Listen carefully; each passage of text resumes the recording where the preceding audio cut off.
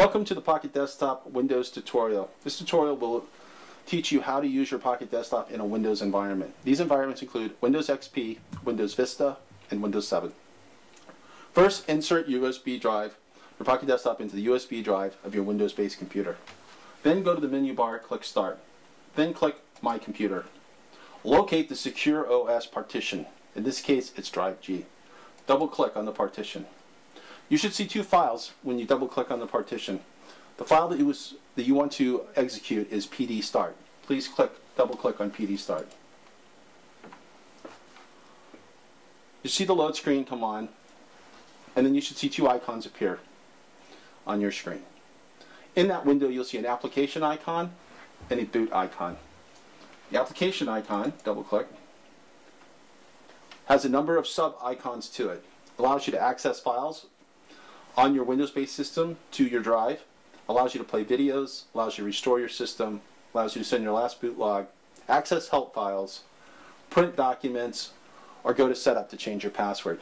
We will not go into any of these particular applications at this time. Just know that they are located here. Now close the window. Go to your boot icon and double click. Ensure that you have shut down all documents prior to clicking on the boot icon as it will shut your system down and load a secure operating system from the Pocket Desktop device. Any documents which have not been saved will be lost. So please, make sure that you've saved all documents and shut down all unnecessary applications. Your system now will restart. This time may vary depending on the type of system you have um, and the operating system. You will see the dual boot screen. It says Windows XP Media and Secure OS. This is normal. It will now start the loading screen. It will then progress to the loading screen with a progress bar that allows you to see the progress the drive is making in loading your secure operating system into your system. This process may take a minute or more. Remember, USB drives load at about approximately 5.5 megabits per second. So to load an entire operating system from the disk may take a minute or more.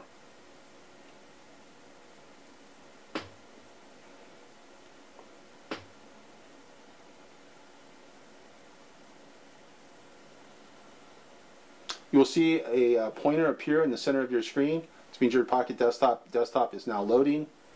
When the ball, when the progress ball turns to a pointer, your system is fully loaded on the desktop. It should take only a matter of seconds or so.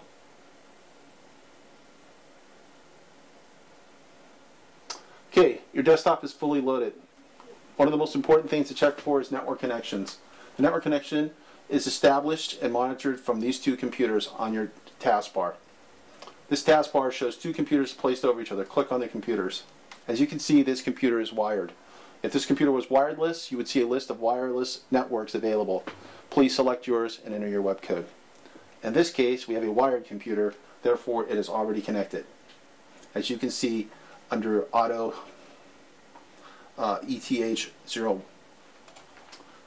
Okay, now second thing is just to check audio. We want to make sure we have audio single click on the audio speaker, you'll note that the that the bars are fully all the way, the slide bars are fully all the way to the top. If this was red, as you see here, it would be muted. To unmute it, just click it again and it will then unmute. Now, check the mixer. This has not only audio volume, but mixer. Double click on the speaker. The mixer panel will appear in the top left-hand corner. Please ensure that all slide bars are fully pushed to the top to give you full volume in each channel. Also make sure, as in the lower portion, that none of these are muted. And if they are, that you unmute them by clicking on them, as you can see as I'm doing here. That all of these are unmuted. You may now close the mixer.